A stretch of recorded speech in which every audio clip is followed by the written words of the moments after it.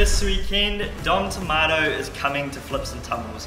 He's a Red Bull sponsored athlete and he's made a career out of parkour, traveling all over the world. So if you're into parkour, come on down this weekend. You can grab your tickets online, flipsandtumblesnz.com. Come and see Christchurch's best athletes, have an experience to remember, and hang out with Dom. We can't wait to see you there.